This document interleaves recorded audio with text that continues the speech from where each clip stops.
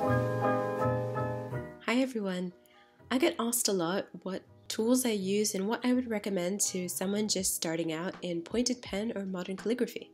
And I remember when I was just beginning, it was a lot of trial and error, but over the years I've narrowed what I love down to a very specific set.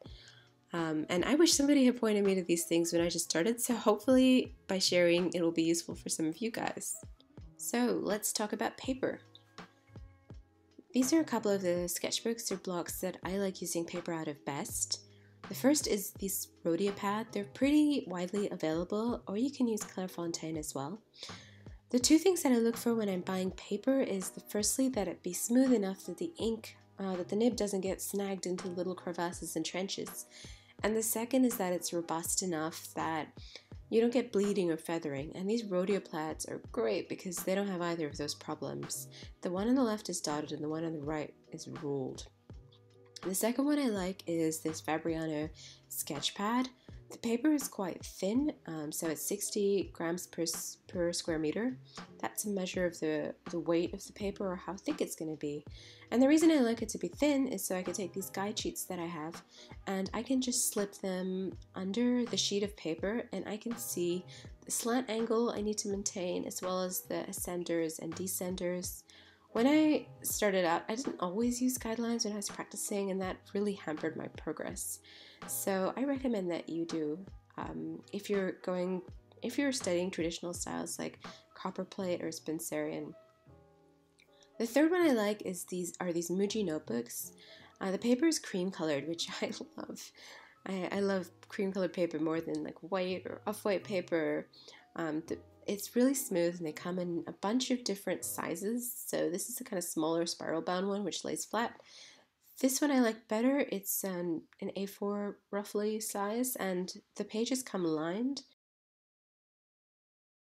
The fourth thing you might be able to do is just find some printer paper that works really well. So I found this one. It's labeled ultra smooth, it's 120 GSM, and I find it works really well. It doesn't bleed or feather, and it's by far the cheapest option out of everything that I've mentioned, uh, since it comes in a huge pack. so if you can find printer paper that works for you, that is awesome. For nib holders, I use both a straight holder for flourishing and an oblique holder for general writing as it helps me keep the angle this is the Speedball plastic straight holder and it's fine for most purposes. It's really easily available as well. This is the most commonly available oblique holder. It's the Speedball Plastic Oblique, but I really don't recommend it. Um, it's not very adjustable. It's hard to fit larger nibs in there, and some nibs just won't fit at all. So instead of getting this, I recommend that you spend a little bit more and get a holder with an adjustable metal flange. You can adjust that to fit any nib with pliers. Nowadays, you can find a lot of fancy holders that are made of like fancy woods or carved intricately. That doesn't matter for the quality of your writing, so just focus on getting something from a reputable brand. The one on the left is a Speedball Deluxe, and the one on the right is a Michael Sull. For inks, my absolute favorite ink of all time is walnut ink. I buy it in crystals. It's used for staining wood, so you can sometimes find it in hardware stores, and it looks something like this. And you mix it with distilled water to create an ink. It's made from the husks of walnuts, and you can actually make it yourself if you happen to have a walnut tree around, but I haven't tried that. My other favorite is Sumi ink. It produces a rich, dark line. Sometimes it needs to be diluted, but it will be waterproof. And also, it's really good for reproduction since it provides like a black line that's easy to scan. For nibs, I really like the following. I like the Zebra or Nikko or Tachikawa G. They're all pretty similar. I also really like the Hunt 101. It's very flexible the Blue Pumpkin and the Brause 66 EF. I find these are all pretty beginner friendly nibs as well, and which one you like is going to depend on how you write and how heavy handed you are. There are two main ways that nibs differ in uh, the size of the hairlines they produce and in their flexibility, so how easy it is to produce those thick swells. Now for some other stuff that I think is going to be helpful. So, um, yeah, I used to spill ink everywhere all over my workspace on myself. Then I was introduced to Dinky Dips. These are basically small containers that you can use to dip your nib into. So I mix my walnut ink in this kind of larger container, but you'll find that with bottles of ink that you buy or ones that you mix yourself, it's not always ideal for dipping your pen into because maybe the opening is too small or you can dip too far. That's where these plastic uh, dinky dips are really handy. You will only dip as far as um, the little hole on the nib and no further.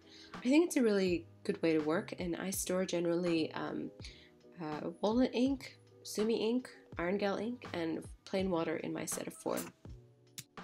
Don't forget to get a little pipette as well, and that will allow you to refill from the larger container really easily.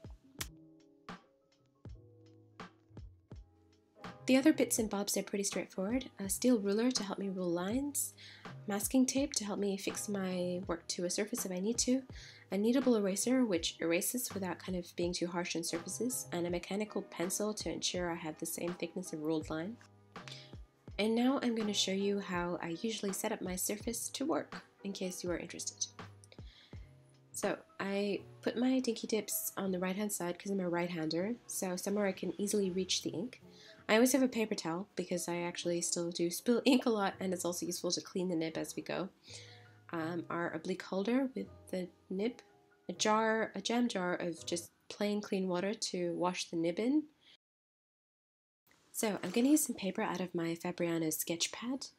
I always rip the paper out of the pad and I don't use it in the pad because if I use it in the pad then my wrist is kind of elevated from the table surface and I don't find that I can really write very well like that. So I'm going to use a guide sheet as well. And one more thing is that I find it to be too hard to write directly with the table surface underneath these two sheets of paper. So I use a piece of felt, like the kind you can find in a craft or a sewing store. Um, and I put it underneath all the sheets just as like a padding sheet. I find it helps my nib wear out less fast and also provides uh, padding so that I can get kind of finer hairlines. Sometimes I also like to attach my collection of papers to the work surface with some masking tape. And that's it. Now I'm all set to write, so I guess I'll get to work. And I'll see you guys in the next video.